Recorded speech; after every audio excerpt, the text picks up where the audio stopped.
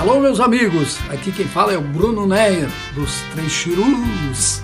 Estou aqui para convidar vocês para uma apresentação dos Três Chirus, dia 28 de março, no Encontro Regional da Terceira Idade, lá no Passo do Sobrado, na festa do Búfalo.